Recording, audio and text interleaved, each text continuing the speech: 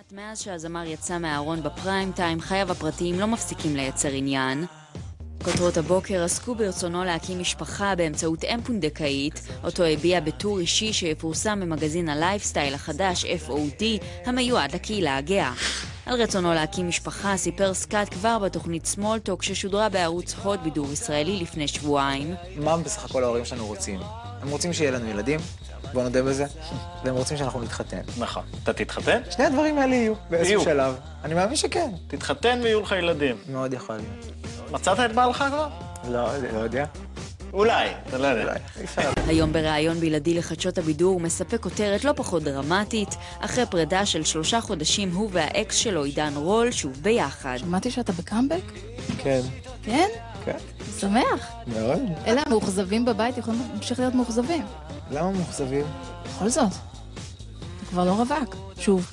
אה, חשבתי שמאוכזבים שעידן לא אוהב. אה, כן. בת נישואים? לא, פחות. רול עצמו הגיע הבוקר לצילומי קטלוג של חברת לי קופר והעדיף לשחרר הצהרה מעורפלת בעניין, והרי ואני בקשר טוב, ואולי זה מבלבל אנשים. אבל מאשר שהוא שותף לרצונו של סקאט להקים משפחה, אני הגעתי למסקנה שאני מאוד רוצה משפחה.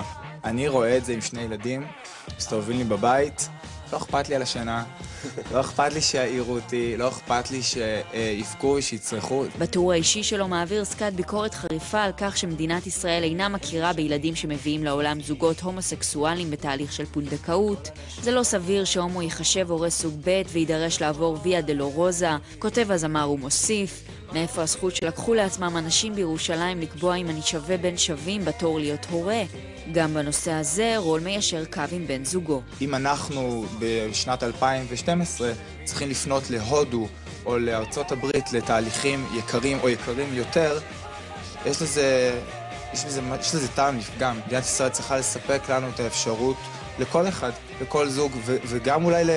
זה גם לא קשור רק להומואים, לסביות, סטרייטים, גם אב חד-הורי שאולי רוצה להביא ילד והוא מרגיש כשיר והוא יכול, צריך שתהיה את האפשרות הזאת. ואנחנו ממשיכים עם ההתרחשויות שלהם.